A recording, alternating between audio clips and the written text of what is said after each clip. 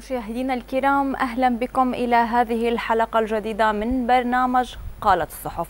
جملة من القضايا والموضوعات التي تلامس هموم المواطن وحياته المعيشية تناولتها صحافتنا المحلية. إلى البداية وفقرة مانشيت سنتابع أبرز ما جاء بالعناوين الرئيسية للصحف. ولكن بعد هذا الفاصل.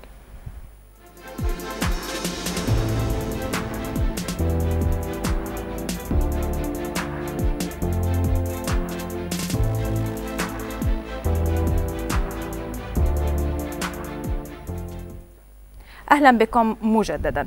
تحدثت صحيفة البعث عن عدد من المواضيع منها. المقداد أمام قمة الجنوب العالم يشهد سقوطا للقيم بصمته على الجرائم الإسرائيلية.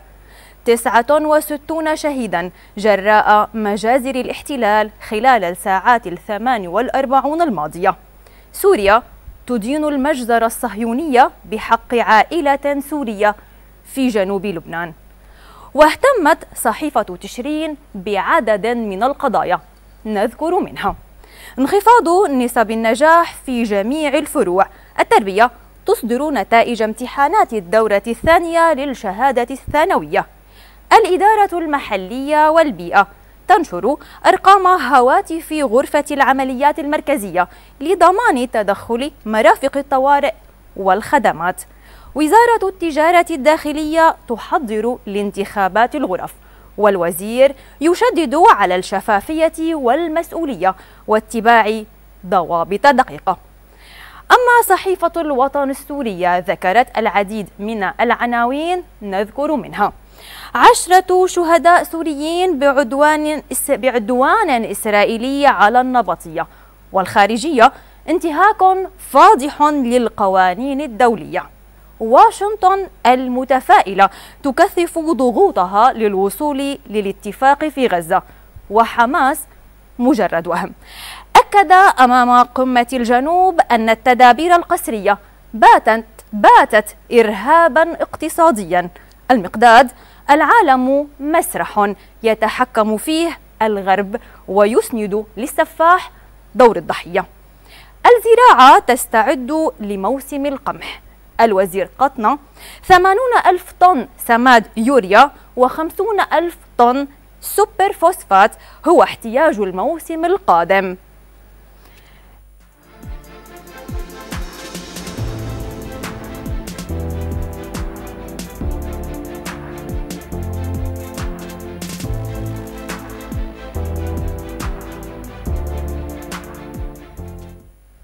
في رأي الصحف لهذا الأسبوع سنتناول ما كتبه الصحفي منهل إبراهيم في جريدة الثورة تحت عنوان من بين أقدامهم فيقول الصحفي خرجت من بين أقدامهم لتصل إلى عاصمة الكيان وفي ذلك عبرة وانتصار كبير للمقاومة الفلسطينية التي أظهرت كيف أنها لا تزال ثابتة في الميدان العسكري وترسل الرسائل الكبيرة من بين جنود الاحتلال نحو تل أبيب. ما فعلته المقاومة في غزة أكد بشكل قطعي أن شعار رئيس وزراء الاحتلال بنيامين نتنياهو بشأن ما أسماه النصر المطلق في الحرب هو محض هراء وثرثرة. وهذا التعبير خرج عن ألسنة قادة الاحتلال ومن بينهم وزير الحرب يؤاف جالانت يتابع الصحفي منهل إبراهيم مقاله بالقول إطلاق الصواريخ المستمر إنجاز عسكري كبير لفصائل المقاومة الفلسطينية ويمثل هزيمة عسكرية كبرى لجيش الاحتلال. نفس المقاومة الطويل في المعارك العسكرية المستمرة في القطاع وخسائر جيش الاحتلال وقدرة المقاومة على المناورة واختراق قلب الكيان. دلائل واضحة على أن فصائل المقاومة الفلسطينية ما زالت متماسكة وقوية عسكريا. يضاف إليها القدرة على إطلاق الصواريخ وهذا ينسف حديث قادة الاحتلال الإسرائيلي عن القضاء على قدرات المقاومة العسكرية. يختم الصحفي منهل مقاله بالقول الاحتلال يعيش اليوم الأزمة وجودا وأزمات داخلية غير مسبوقة. وفقدان في الثقة بين الكيان ومستوطنيه. صورة جيش الاحتلال صورة جيش الاحتلال تكسرت بنيران المقاومة. والوقائع خير دليل. ولا نصر مطلق أو حتى جزئي يمكن أن تحققه إسرائيل ومتزاعميها على المقاومات في المنطقة. فالتاريخ يعاد كتابته من جديد. وفشل الكيان وتهديد وجوده يظهر في أول السطور.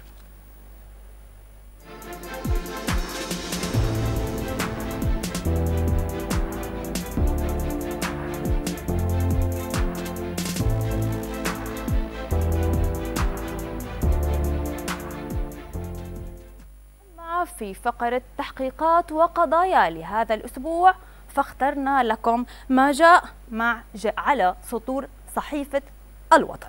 التحقيق الذي أجرته الصحفية جلنار علي تحت عنوان المصائب لا تأتي فرادى تكاليف المؤن والمدارس ترهق, ترهق الأسر السورية. فتقول الصحفية لا تأتي المصائب فرادى على السوريين فإما تأتي سوية أو تتناوب لتبقي المواطن رهن القلق والتفكير الدائم لإيجاد حلول لها. وقد تستغرب إذا ما وصفنا الشهر الذي تجتمع فيه المؤن والتحضير للمدارس بأنه شهر صعب بالنسبة لمحدودي الدخل والكثير من غير محدودي الدخل أيضا. لكن ارتفاع الأسعار ووصولها إلى مستويات لا تتحملها الجيوب بات أمرا منهكا لأرباب الأسر.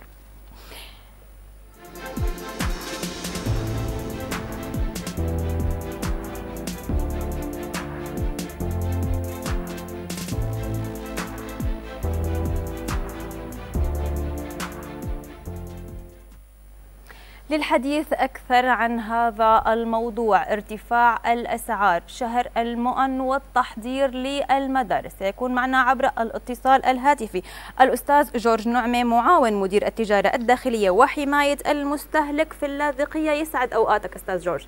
يسعد أوقاتكم. أهلا وسهلا. أهلا وسهلا بحضرتك. آه طبعا بدنا نحكي حسب ما جاء بصحيفة الوطن المصائب لا تأتي فرادى تكاليف المؤن والمدارس ترهق الأسر السورية. كيف من من قيم حركة الأسواق واقع الشراء وغيرها بهيدي الأشهر الأخيرة أستاذ جورج؟ آه نعم. بالنسبة للمؤن حاليا في موسم للمؤن بيكون بندورة وممكن دبس بفليفلة ومكدوس. تماما. هلا بالنسبة للبندورة آه، هلا حاليا أكثر شيء مستخدمه للمنى هي البندورة الشامية. صحيح. البندورة الشامية هو هلا الوقت اللي صار فيه ارتفاع بأسعارهم يعني بيكون المؤن بالعادة بالشهر السادس بتكون بس لسه في لحد هلا بندورة شامية موجودة. تمام. طبعا بالشهر السادس كان الأسعار أقل بكثير منها حاليا كانت بين 3500 ل 4000 هلا ارتفعت خلال الشهر الماضي لوصلت بين 7000 و 9000 ولكن بسبب ارتفاع أسعار صاروا التجار يجيبوا صار في عرض زيادة والشوب بلشت تخرب شوي عندهم قام نزل سعرها؟ يعني حاليا البندورة الشامية بين 6000 و 8000 ليرة هيك هي أسعارها بحسب للمستهلك طبعا أنا عم حكيك للمستهلك تمام تمام. آه هيك الأسعار حاليا بالأسواق آه الموجوده البندورة الشامية الموجودة. يعني آه بالنسبة لل إيه تفضل. تفضل لا تفضل تابع أستاذ. آه كنت بدي أحكي بس عن الفليفلة هلا الفليفلة الحمراء ممكن تكون في عم بيجينا فليفله من حلب هاي الفليفله الغريبة. آه هيدي سعرها ثابت بين ال 5000 وال 6000 الفليفله البلدية اللي هي مرغوبة أكثر يعني بيكون نسبة المي فيها أقل يعني بتكون شحمة أكثر بتكون بين 9000 وال 10 وهي المرغوبة أكثر حاليا لعمل الدبس تماما.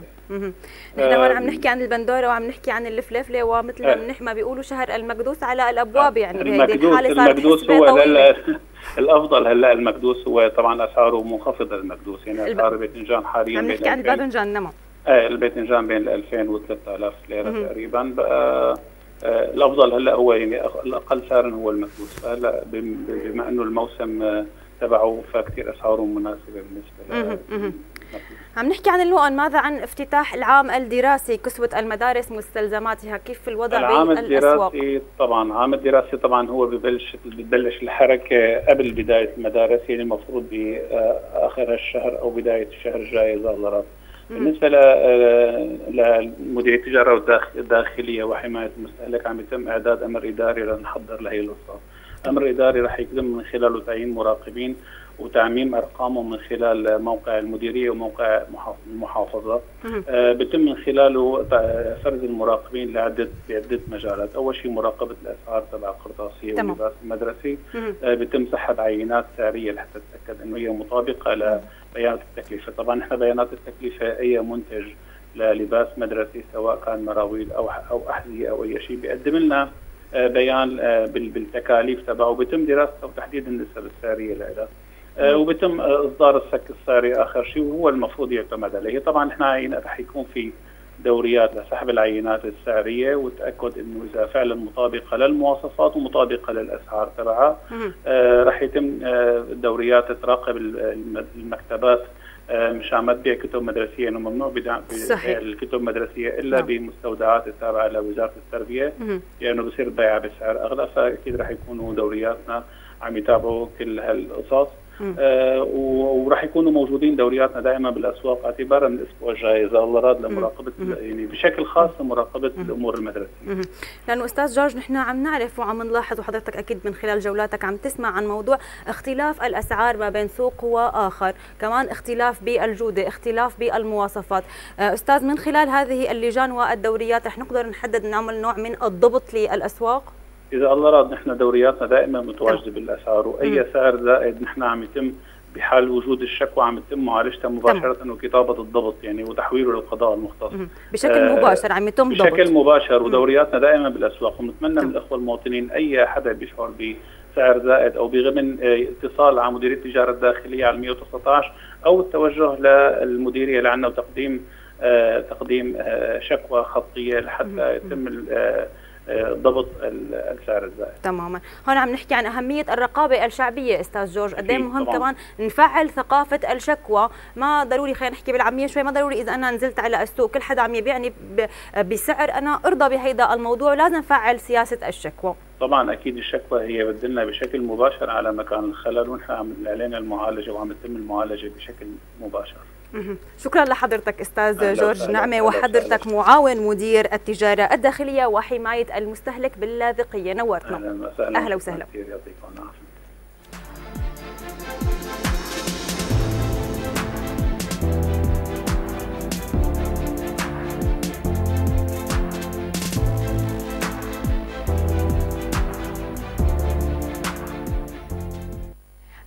في فقرة زوايا وأعمدة لهذا الأسبوع اخترنا لكم مقال من جريدة العروبة وتحديدا للصحفي عادل أحمد تحت عنوان نقطة على السطر سياسة الإلهام. يقول الصحفي كيف يتم التهرب من حل المشاكل التي يشتكي منها المواطن؟ ببساطة من, خل من خلال خلق مشاكل أخرى بسيطة بحيث تحول الهم والاهتمام نحوها. وينصرف المواطنون عن مطالبهم الأساسية.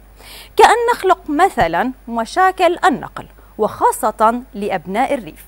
فيصبح هم المواطن كيف يصل إلى مكان عمله أو جامعته أو مدرسته. وخلال السنوات الماضية قفزنا قفزات نوعية في هذا المجال نستحق أن نحقق فيها براءة اختراع عالمية غير مسبوقة. كيف لا؟ والمواطن لا ينام ويصحو إلا على هم جديد. يتابع الصحفي عادل الأحمد مقاله فيقول مسافة 25 كيلومتر يتطلب قطعها من الموظف في إحدى دوائر الدولة. تحتاج من الزمن ما يعادل وصول هذا الموظف إلى محافظة دمشق. ما يحدث اليوم يعيدنا إلى الزمن الجميل الذي كانت فيه البوسطة تعمل رحلة صباحية وأخرى بعد الظهر. ومن يفوته الموعد يتوجب عليه العودة وتأجيل موعد الذهاب لليوم الثاني. ربما كانت الأمور أفضل فالبسطة كانت تقل الركاب كعلب السردين وقوفا وفوق ظهرها وعلى السلم واليوم مع حداثة الجردون اخترع السائقون رباعية وخماسية المقاعد التي أصبحت تأن تحت ضغط الحمولة الزائدة. يختتم الصحفي عادل أحمد مقاله بالقول العالم يدخل مجالات الذكاء الاصطناعي. أما نحن فنسير بالاتجاه المعاكس وكأن الأمر لا يعنينا. أما السؤال الذي يطرح نفسه إذا إزاء هذا الواقع ماذا لو تأخر العاملون أو لم يأتوا إلى أماكن عملهم؟ كيف ستكون ردة الفعل؟ إجازة إدارية أو بلا أجر.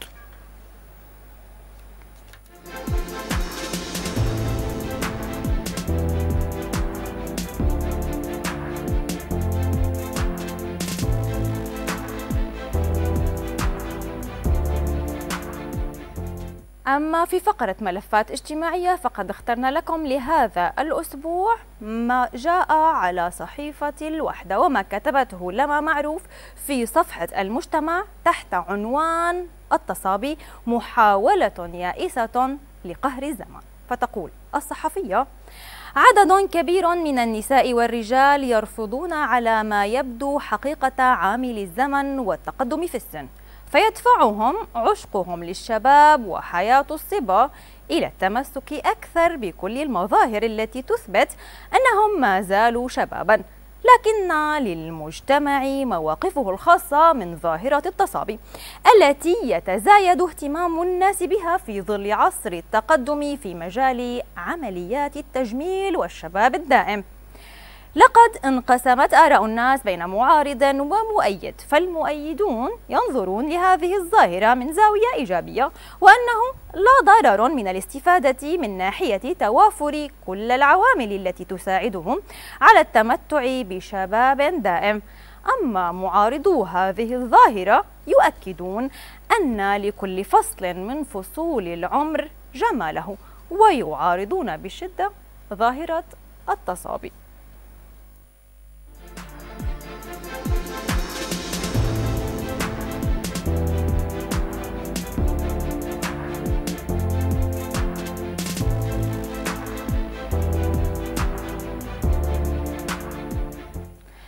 في فقرة أخبار محلية وتحديدا في صحيفة الوحدة الصادرة في اللاذقية بين المهندس ممدوح رجب معاون مدير مؤسسة مياه اللاذقية للوحدة أن الضابطة المائية التابعة لوحدتي مياه الحفة والثورة قامت بإزالة جميع التعديات والمخالفات في قرية الجبصينية التابعة لناحية البهلولية وتم تنظيم أكثر من 22 ضبطا مخالفا.